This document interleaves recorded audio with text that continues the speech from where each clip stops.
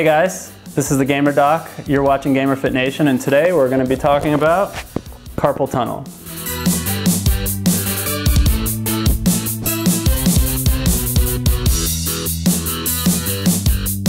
On PSN, UN Cyrus asks me, is carpal tunnel a serious risk for gamers and what can we do to avoid or minimize risk? So let's talk about carpal tunnel. You've all heard about it. Some of you may even think you have it. So what is it? So this is a drawing of the hand and what you can see here, this is the so-called carpal tunnel where the median nerve goes from your wrist and enters into your hand where it's responsible for sensation and, and motor ability to your thumb, to your first finger, your middle finger, and the, um, the medial part of your fourth finger.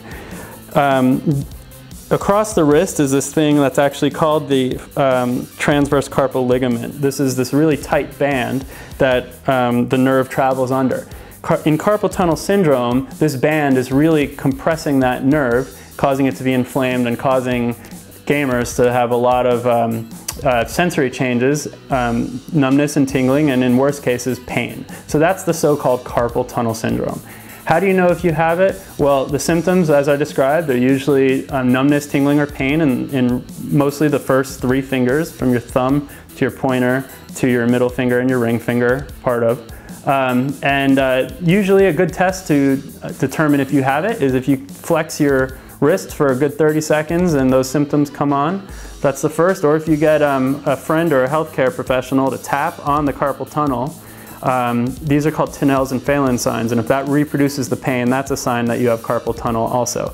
What is it associated with? Well, there is um, you know, a huge debate as to whether it's caused by repetitive um, stress of the, of the carpal tunnel and the nerve.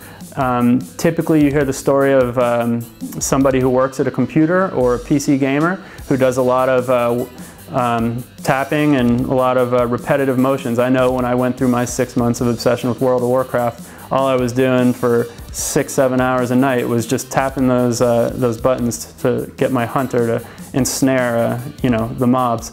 Anyway, um, so what can you do about it? Well, the treatments um, go from very, very conservative to invasive surgery. Um, in kind of the least invasive approach is just uh, a wrist brace. Um, typists or gamers who are at their PC definitely want to have a rest um, for, on their mouse pad so that their um, wrist is elevated and um, supported.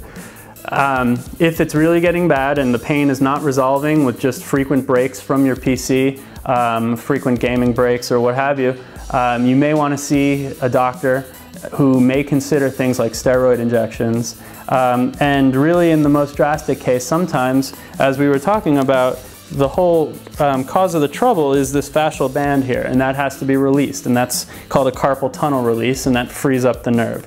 Now, that surgery is really only reserved for people who have the worst case um, worst cases symptoms and um, are not responding to more conservative management. But as with a lot of things that I'm talking to gamers about, really the best thing is moderation with your gaming, frequent rests, and to listen to your body. If you're feeling numbness and tingling in your hand, that's not normal, okay? Um, our gaming is a great hobby and it should be practiced as a healthy one.